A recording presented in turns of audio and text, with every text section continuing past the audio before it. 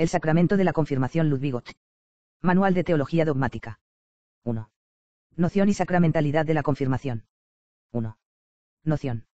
La confirmación es un sacramento por el cual el bautizado es colmado del Espíritu Santo por la imposición de manos, la unción y la oración, para que se consolide interiormente en su vida sobrenatural y confiese exteriormente con valentía la fe en Jesucristo. Santo Tomás la define como sacramento de la plenitud de gracia y como, sacramento por el cual se concede a los bautizados la fortaleza del Espíritu, STH 272, 1 a 2, SCG Arby, 60. 2. Sacramentalidad de la confirmación. La confirmación es verdadero y propio sacramento, de fe. El concilio de Trento hizo la siguiente declaración, contra los reformadores que rechazaban la confirmación como carente de fundamento bíblico, siquis dixerit, confirmación el baptizatorum otiosam caeremoniames et non potius verum et proprium sacramentum, AS, DC 871. Según la Apologia Confessionis de Melanchthon, Art 13, 6, la confirmación es un rito transmitido por los padres innecesario para la salvación, porque no tiene en su favor el mandato de Dios. Según la historia racionalística de los dogmas, Arnak, la confirmación surgió al desligarse y cobrar vida autónoma algunas ceremonias simbólicas que primitivamente acompañaban la administración del bautismo. Pío X condenó la tesis modernista según la cual el bautismo y la confirmación no se habían distinguido en la Iglesia primitiva como dos sacramentos diversos, DC 2044. A. Prueba de escritura. La Sagrada Escritura solo nos ofrece pruebas indirectas de que Cristo constituyera el sacramento de la confirmación. Después de que los profetas del Antiguo Testamento habían predicho que el Espíritu de Día se derramaría sobre toda la redondez de la tierra como señal de que era venida la época mesiánica, cf.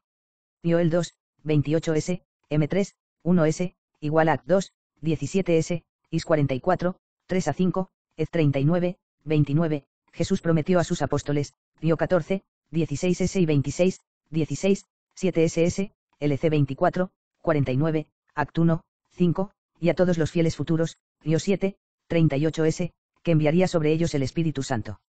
El día de Pentecostés cumplió su palabra con la comunidad cristiana primitiva, Act 2, 4, quedaron todos llenos del Espíritu Santo, y comenzaron a hablar en lenguas extrañas, según que el Espíritu Santo les movía a expresarse. En lo sucesivo, los apóstoles comunicaban el Espíritu Santo a los bautizados por medio del rito exterior de la imposición de manos. Act 8, 14 SS nos refiere, cuando los apóstoles, que estaban en Jerusalén, oyeron cómo había recibido Samaria la palabra de Dios, enviaron allá a Pedro y Juan, los cuales, bajando, oraron sobre ellos para que recibiesen el Espíritu Santo, pues aún no había venido sobre ninguno de ellos, solo habían sido bautizados en el nombre del Señor Jesús. Entonces les impusieron las manos y recibieron el Espíritu Santo. Según Act 19, 6, San Pablo comunicó el Espíritu Santo a unos doce discípulos de Efeso, una vez que estos hubieron recibido el bautismo, e, imponiéndoles Pablo las manos, descendió sobre ellos el Espíritu Santo, y hablaban lenguas y profetizaban. Según Eb 6, 2, la imposición de manos, que hace descender al Espíritu Santo, V4, pertenece, juntamente con el bautismo, a los fundamentos de la religión cristiana. De los pasajes citados se desprende la sacramentalidad de la confirmación. A. Los apóstoles efectuaban un rito sacramental consistente en la imposición de manos y la oración. B. El efecto de este rito externo era la comunicación del Espíritu Santo, principio de santificación interna.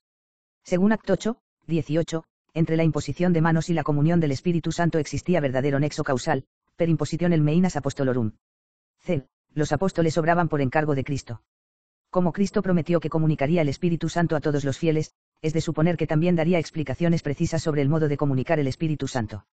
La naturalidad con que los apóstoles, que se consideraban únicamente como ministros de Cristo y administradores de los misterios de Dios, 1 Sioar 4, 1, efectuaban el rito de la imposición de manos presupone una ordenación de Cristo a este respecto. Santo Tomás enseña que Cristo instituyó el sacramento de la confirmación, non exhibendo, sed promittendo, es decir, que él no administró este sacramento, sino que prometió para el futuro su administración, porque en la confirmación se otorga la plenitud del Espíritu Santo, la cual no entraba en los planes de Dios concederla antes de la resurrección y ascensión de Cristo a los cielos, STH. 372, 1 a 1. Algunos teólogos escolásticos, VG, el maestro Rolando y San Buenaventura, sostuvieron la opinión de que la confirmación había sido instituida por los apóstoles, es decir, por el Espíritu Santo por medio de los apóstoles, institución divina mediata. Alejandro de Ales, es decir, la suma que lleva su nombre, propone la sentencia de que el sacramento de la confirmación había sido instituido por inspiración del Espíritu Santo en un concilio de Mou, inconcilio meldensi, pero en realidad no se refiere al sacramento como tal, sino a la fijación definitiva del rito de su administración corriente en aquel tiempo. No niega que Cristo instituyera la imposición de manos, cuyo efecto era hacer descender el Espíritu Santo. B. Prueba de tradición. Aunque la confirmación, en los primeros tiempos del cristianismo, estaba íntimamente unida con el bautismo, no obstante, aparece ya en los testimonios más antiguos de la tradición cristiana como un rito sacramental distinto del bautismo. Tertuliano considera el bautismo como preparación para recibir el Espíritu Santo, no es que hayamos recibido en el agua al Espíritu Santo, sino que en el agua, nos purificamos y disponemos para recibirlo, de Baptist 6. Después del bautismo tiene lugar una unción de todo el cuerpo, unción bautismal, y, después, la imposición de manos, al salir del baño bautismal, somos ungidos con unción sagrada, C7, después se imponen las manos, llamando e invitando al Espíritu Santo por medio de una bendición, de inc meinas imponitur per benedicción el madvocanset invitans spiritum sanctum, C8. El efecto de este rito es la comunicación del Espíritu Santo.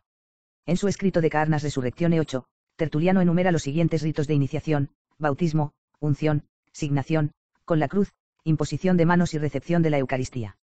San Hipólito de Roma, más 235, menciona en su tradición apostólica los siguientes ritos de la confirmación, imposición de manos del obispo y oración, unción con óleo sagrado, hay que distinguir esta unción de la unción bautismal que efectúa el sacerdote después del bautismo, y al mismo tiempo, imposición de manos mientras se recita una fórmula trinitaria de bendición, signación de la frente y beso de paz, cf. Indan. 1, 16. El Papa Cornelio, 251 a 253, reprocha a Novaciano el que, después de haber recibido el bautismo de aspersión en el lecho de enfermedad, y, habiendo salido de la enfermedad, no recibiera todo lo demás que generalmente hay que recibir en la Iglesia, así como tampoco la asignación por el obispo. Tal signación hacía que se recibiese el Espíritu Santo. De ahí la pregunta del Papa Cornelio, ¿cómo iba, Novaciano, a recibir el Espíritu Santo, si no había recibido este rito? Epead Fabiumant, EUS Eblo, HXB 43, 15. San Cipriano, más 258, dice, refiriéndose a Acto 8, 14 SS, esto ocurre hoy también entre nosotros. A aquellos que han sido bautizados en la Iglesia se les conduce a los propósitos de la Iglesia, igual a los obispos, y por nuestra oración y nuestra imposición de manos reciben el Espíritu Santo y son consumados por el sello del Señor, EP 73, 9, CF. EP 74, 5 y 7. Según el Sínodo Hispano de Elvira, hacia el 306, todo aquel que haya sido bautizado por un laico en enfermedad grave o haya recibido el bautismo de un diácono tiene que presentarse al obispo, para que sea consumado por la imposición de manos, CAN 38 y 77, DC 52D. San Cirilo de Jerusalén, T386, o su sucesor Juan, dedica a la confirmación su tercera catequesis mistagógica, que lleva el título, sobre la unción. Otros testimonios los hallamos en San Ambrosio, de Sacr 3.2, 8 a 10, de Mist 7, 42, San Jerónimo, Dial Calle Luciferianos 8S, Inocencio I, Sermo 24, 6, San Agustín, de Trinit 15, 26, 46, Inepe 1 Lou, Tiar 6, 10, San León Magno, Sermo 24, 6, Pseudo Dionisio, de Egiar 4, 3, 11. La escolástica prueba especulativamente la existencia del sacramento de la confirmación por la analogía que existe entre la vida natural del cuerpo y la vida sobrenatural del alma. Así como al nacimiento corporal le corresponde un sacramento de renacimiento espiritual, el bautismo, así también al crecimiento corporal le corresponde un sacramento de corroboración y robustecimiento de la vida sobrenatural, la confirmación, STH. 372, 1. 2. El signo externo de la confirmación. 1. La materia. No existe ninguna definición del magisterio eclesiástico sobre la materia esencial del sacramento de la confirmación. Las opiniones de los teólogos están divididas a este respecto. A. Unos, invocando en su favor el testimonio de la Sagrada Escritura, Acto 8, 17, 19, 6, Eb 6, 2, sostienen que únicamente la imposición de manos es la materia esencial, Pedro Aureolo, Dionisio Petavio, cf. Disi 424. B. Otros, invocando en su favor el Decretum pro Armenis, Disi 697, las enseñanzas del Concilio de Trento, Disi 872, el Catecismo Romano, LT 3, 7, la tradición de la Iglesia griega y la doctrina de Santo Tomás, STH. 372, 2, de Art Fidei et Sacr. Punto, declaran que únicamente la unción con el Santo Crisma es la materia esencial, Belarmino, Gregorio de Valencia, Guillermo Estio. Contra esta última sentencia habla decididamente el testimonio de la Sagrada Escritura. El decretum pro armenis no es una decisión infalible del magisterio eclesiástico. El concilio de Trento solo pretende salir en favor de la unción con el Santo Crisma sin definir nada sobre la materia esencial del sacramento de la confirmación.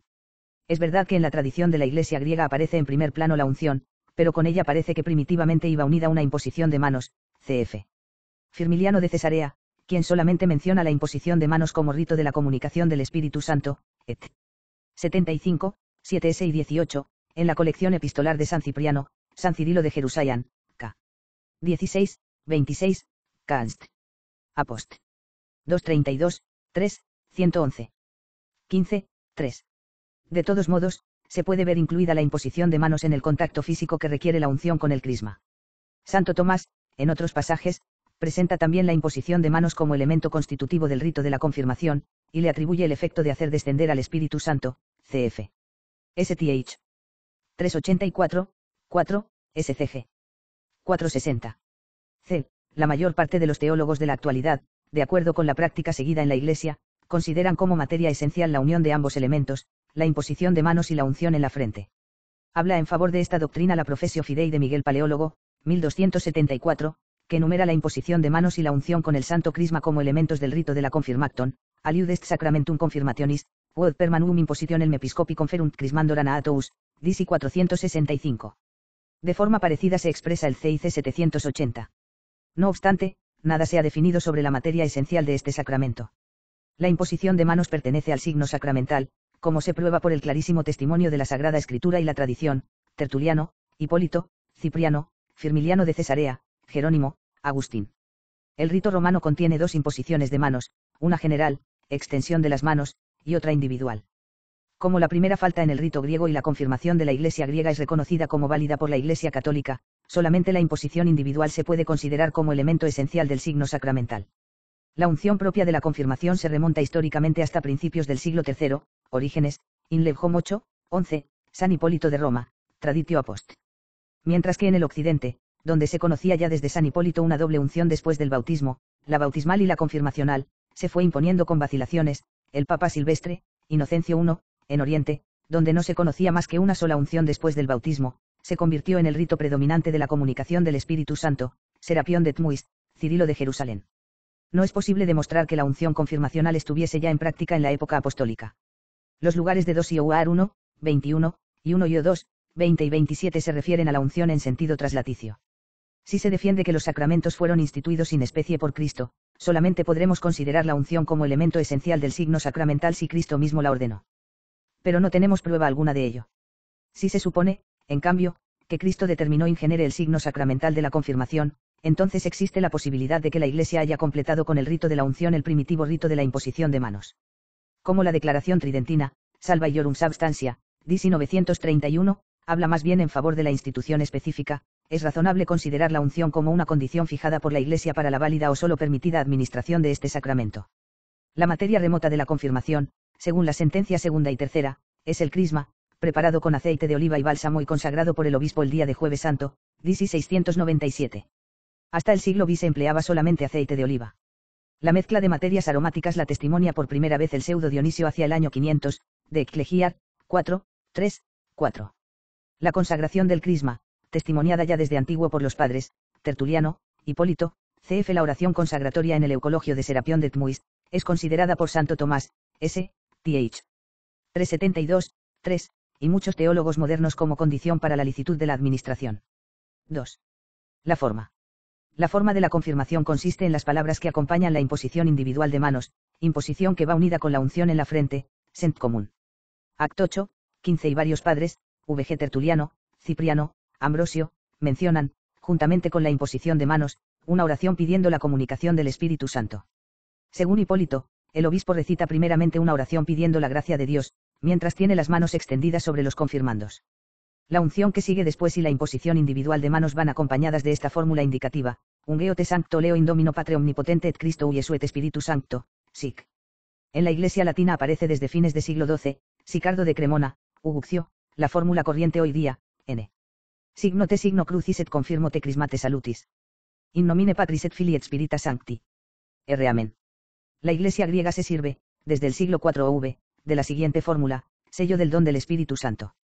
Es testimoniada por Asterio de Amasea, hacia 400, en relación con el bautismo, y por el inauténtico canon séptimo y Concilio de Constantinopla, 381, como parte integrante del rito de reconciliación, y fue prescrita con carácter general, can 95, por el Sínodo Truyanum, 692. 3. Los efectos de la confirmación 1. La gracia de la confirmación como sacramento de vivos, la confirmación produce, per se, el aumento de la gracia santificante, sent cierta. El decretum pro Armenis enseña, per confirmación el maugemur ingratia et roboramur infide, disi 695. En la Sagrada Escritura y en la antigua tradición cristiana, v1, se cita ordinariamente como efecto principal de la confirmación, no la comunicación de la gracia, sino la comunicación del Espíritu Santo.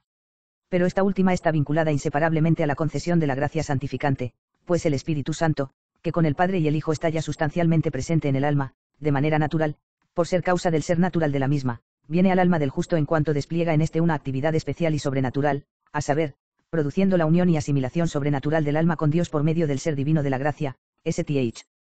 372, 7. Missio Seudatio Spiritus Sancti non est nisi cum gratia gratum faciente. A la gracia santificante van unidas las virtudes infusas y los dones del Espíritu Santo.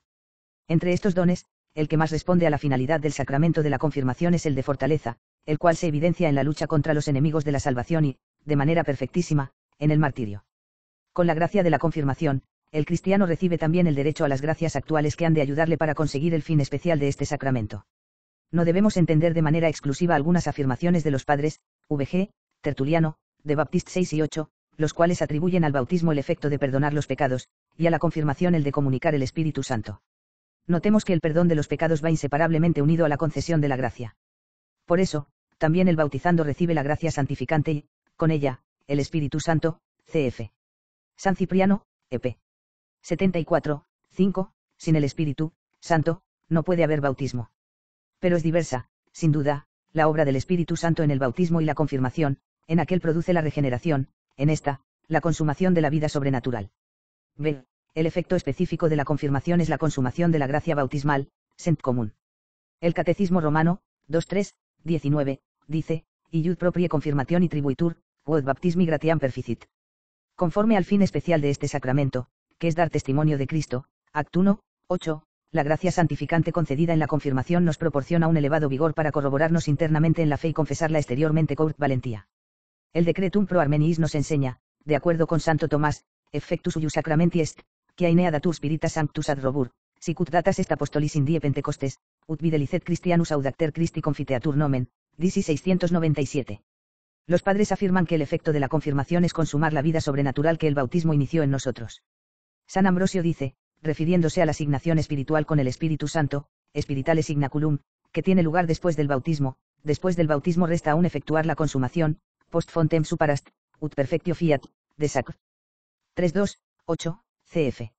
San Cipriano, ep. 73, 9, Sínodo de Elvira, can.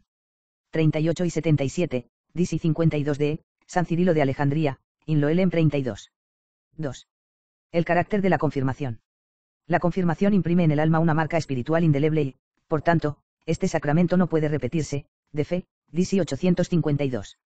San Cirilo de Jerusalén dice, refiriéndose a la comunicación del Espíritu Santo que tiene lugar en la confirmación, que él, Dios, os conceda por toda la eternidad el sello imborrable del Espíritu Santo, Procat 17. Tanto los padres de la Iglesia, Pseudo Fulgencio, Sereno 45, como los sínodos, Toledo 653, Chalon Sur Saone 813, prohíben se repita la confirmación lo mismo que el bautismo. La Iglesia Ortodoxa vuelve a administrar la confirmación, a los que han negado a Cristo, entre ellos cuentan los rusos a los que han caído en el judaísmo, paganismo e islamismo, y los griegos cuentan también a los que se han pasado al catolicismo y al protestantismo, cuando estos vuelven a convertirse a la fe ortodoxa, Confesio Ortodoxa 1105. Con ello se niega el carácter de la confirmación. Sin embargo, algunos teólogos explican la unción con el crisma efectuada sobre los que vuelven convertidos, no como repetición del sacramento de la confirmación, sino como rito de reconciliación. Finalidad. El carácter que imprime la confirmación da, según doctrina de Santo Tomás, la facultad y el derecho de realizar acciones que tienen por objeto el combate espiritual entablado contra los enemigos de la fe. Este carácter asemeja al confirmado con Cristo, Maestro de la verdad, Rey de la justicia y sumo sacerdote, signam configurativum, sirve para distinguir a los campeones de Cristo de los simples miembros de su reino, signam distinctivum, faculta para participar de manera activa, aunque limitadamente en el triple oficio de Cristo, signam dispositivum, y nos obliga a confesar públicamente la fe cristiana, signam obligativum. El carácter confirmacional nos faculta y obliga a figurar en el apostolado seglar, cf. STH. 372, 5. Relación entre el carácter bautismal y el confirmacional. Como la confirmación es un sacramento distinto e independiente del bautismo y tiene una finalidad específica, es de suponer que el carácter confirmacional es realmente distinto del carácter bautismal, de suerte que aquel no es tan solo un mero perfeccionamiento modal de éste, sino una cualidad del alma distinta del carácter bautismal. El carácter confirmacional presupone necesariamente el bautismal. No es válida la confirmación de una persona que no ha recibido el bautismo, se impone a todos los cristianos la dulcísima obligación de trabajar para que el mensaje divino de la salvación sea conocido y aceptado por todos los hombres de cualquier lugar de la tierra. Dec. Apostolicam Actuositatem, N3, Canst. Lumen Gentium, N30 a 38. CFS TH 72, 6. 4. Necesidad de la confirmación. 1. Para la colectividad. Como Cristo ha instituido la confirmación, se sigue de ahí que este sacramento es imprescindible para la Iglesia considerada colectivamente. La confirmación proporciona vigor sobrenatural a la Iglesia para vencer las dificultades internas y externas que le predijo su divino fundador, MT 10, 16 SS, Dio 15, 20. 2. Para el individuo. El bautizado puede obtener la salvación eterna sin haber recibido la confirmación, sent próxima a, la fe. El concilio de Trento declaró que nada impide a los regenerados entrar en el cielo, DC 792. La tradición unánime de la Iglesia asegura que los bautizados que parten de esta vida antes de recibir imposición de manos del obispo pueden conseguir la salvación eterna, cf. Pseudo Cipriano, de Rebat.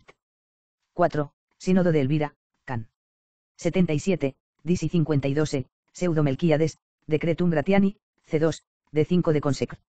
Por eso la confirmación no es necesaria, como el bautismo, con una necesidad ineludible. Se dice que es necesaria para la salvación en cuanto contribuye para que esa salvación sea más consumada y perfecta, STH. 372, 1 a 3, 72, 8 a 4, DC 2523. Aunque no existe ningún precepto explícito de Dios que nos obligue a recibir la confirmación, sin embargo, el hecho de que este sacramento haya sido instituido por Cristo nos permite deducir el precepto divino de que lo recibamos, praeceptum divinum implicitum. El derecho vigente prescribe a todos los fieles la recepción de este sacramento si tienen ocasión de ello, CIC 787. Si se dejara de recibir por menosprecio, ex contemptu, se pecaría gravemente, DC 669. La caridad cristiana para consigo mismo no permite desaprovechar una fuente tan importante de gracias. La confirmación de deseo. La gracia confirmacional, no el carácter confirmacional, se puede alcanzar en caso de necesidad, lo mismo que ocurre con la gracia bautismal, por medio de la confirmación de deseo, votum confirmationis, que es un deseo vivo de recibir, si se pudiera, este sacramento. Como la gracia confirmacional presupone la bautismal, el bautismo, al menos el de deseo, tendrá que preceder racionalmente, aunque no temporalmente, a la confirmación de deseo, STHUI 72, 6 ad 1 y 3. 5. El ministro de la confirmación. 1. El ministro ordinario. El ministro ordinario de la confirmación es únicamente el obispo, de fe. El concilio de Trento declaró, contra las tendencias antijerárquicas de las sectas medievales, valdenses, biclifitas, usitas, y contra la doctrina y práctica de la Iglesia ortodoxa griega, la cual considera al simple presbítero como ministro ordinario de la confirmación, siquis dixerit, sanctae confirmationis ordinarium ministrum non esis alam episcopum, sed quembi simplicem sacerdotem, AS, DC 873, CF. DC 419, 424, 450, 465, 572, 608, 697, 2147 A, CIC 782, 1. Según testimonio de los Hechos de los Apóstoles, 8, 14 SS, 19, 6, el rito, de la colación del Espíritu Santo lo realizaban los apóstoles, cuyos sucesores son los obispos. En Occidente, la administración del sacramento de la confirmación fue considerada siempre como un privilegio del obispo. Testigos de ello son San Hipólito de Roma, Tradi. Apost, el Papa Cornelio, EP ad Fabium, San Cipriano, EP 73, 9, el Pseudo Cipriano, de Rebab 5, el Sínodo de Elvira, Can 38 y 77, DC 52 de San Jerónimo, Dialce Lucif 9, y el Papa Inocencio I, EP 25, 3. Este último distingue, igual que San Hipólito, entre la unción confirmacional que se realiza en la frente y la unción bautismal que administra el sacerdote, e insiste en que la primera de estas dos unciones corresponde administrarla únicamente a los obispos, a los sacerdotes no les está permitido signar la frente con el mismo óleo, con el cual ungen a los bautizados, esto es cosa que únicamente compete a los obispos cuando comunican el Espíritu Santo, DC 98. También en Oriente fue al principio el obispo el ministro ordinario del sacramento, como testimonian el obispo Firmiliano de Cesarea, EP 75, 7, en la colección epistolar de San Cipriano, la Didascalia, 232, 3, 233, 2, y San Juan Crisótomo, Inactus 1018, 3. Argumento interno. La confirmación, por ser sacramento de consumación, conviene que sea administrada por aquellos que poseen la plenitud del poder sacerdotal, por ser juramento de lucha espiritual, está bien que la administren los caudillos de la milicia cristiana que son los obispos, STH. 372, 11, SCG. 460. Siendo el obispo quien administra este sacramento, se hace más intensa en los fieles la conciencia de su unión con el obispo, sirviendo así este sacramento para conservación y consolidación de la unidad de la Iglesia, cf. San Buenaventura, Incent. 4, d 7, A1, Q3. 2. El ministro extraordinario. El ministro extraordinario del sacramento de la confirmación es el simple sacerdote, a quien se concede este poder por derecho común o por un indulto apostólico, sent cierta, CIC 782, 2, CF. DC 697, 573. Por un indulto general de la sede apostólica, con efecto a partir del 1 de enero de 1947, a. Los párrocos con territorio propio, b. Los vicarios parroquiales, CAN 471, y ecónomos, CAN 472, y c. Los sacerdotes que poseen de manera exclusiva y permanente, en un territorio determinado y una iglesia determinada, la plena cura de almas con todos los derechos y deberes parroquiales, han obtenido el poder de administrar personalmente el sacramento de la confirmación a todos los fieles que residan. En su circunscripción, siempre y cuando, a. Estos se hallen por enfermedad grave en verdadero peligro de muerte, de suerte que pueda temerse su fallecimiento, y b. El obispo de la diócesis no se encuentre asequible o esté legítimamente impedido, o no haya ningún otro obispo en comunión con la sede apostólica que pueda fácilmente sustituir al obispo de la diócesis, confirmación en caso de necesidad. La transgresión de los poderes concedidos con respecto a la circunscripción territorial de los confirmandos tiene como consecuencia la invalidez del sacramento y la pérdida del poder de confirmar. CAN 2365. Decretum se Congregationis de Disciplina Sacramentoruin, Spirita Sancti Munera, de 14 de septiembre de 1946, AS 38, 1946, 349 SS.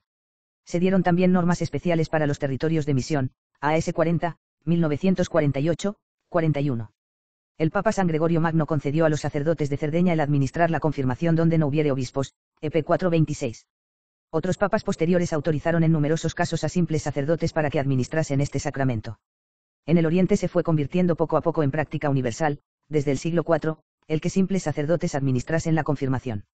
Las constituciones apostólicas, de fines de siglo IV, conceden no solo al obispo, sino también al presbítero, la facultad de imponer las manos con fin confirmatorial favoreció notablemente esta evolución la diferencia que se establecía entre la confección y la distribución del sacramento de la confirmación, de manera análoga a aquella otra que se hacía con respecto a la Sagrada Eucaristía, es decir, que se distinguía entre la consagración del mirón reservada al obispo y la unción que realizaba el sacerdote con ese mirón consagrado, cf. San Cirillo de Jerusalén, cat. Mist. 3. 3. La validez de la confirmación administrada por los sacerdotes griegos siempre fue reconocida como válida por parte de la Iglesia Católica. Tal validez se explica por un privilegio tácito de la sede apostólica, así lo enseña el Papa Benedicto XIV, de Sinodo Diocvis 9, 3, cf. DC 697, per apostolica sedis dispensationem. No debemos considerar ese poder extraordinario de confirmar que posee el simple sacerdote como una dimanación del poder pontificio de jurisdicción, ni como un poder de orden concedido de forma extrasacramental, sino como elemento del poder sacerdotal de santificar, recibido en la ordenación sacerdotal. Pero tal poder, bien esté ligado en virtud de una ordenación divina, bien en virtud de una ordenación eclesiástica, solamente puede ser actuado por concesión pontificia. 6. El sujeto de la confirmación. La confirmación puede ser recibida válidamente por todo bautizado que no haya sido ya confirmado, sent cierta. También los párvulos pueden recibir válidamente la confirmación, como se prueba por la costumbre de bautizar a los niños pequeñitos, costumbre que existió en Occidente hasta el siglo XIII y que todavía perdura en Oriente. Ahora bien, considerando el fin de este sacramento, que es convertir al bautizado en paladín esforzado de Cristo, es más conveniente administrarlo cuando el niño llega al uso de razón, es decir, hacia los siete años de edad, y así lo prescribe como norma el código vigente, CIC 788. No obstante, caben excepciones, sobre todo cuando hay peligro de muerte. A los párvulos que están en peligro se les puede y se les debe administrar el sacramento de la confirmación, porque a un estado de gracia más elevado corresponde también un estado más elevado de gloria, STH 372, 8 a 4.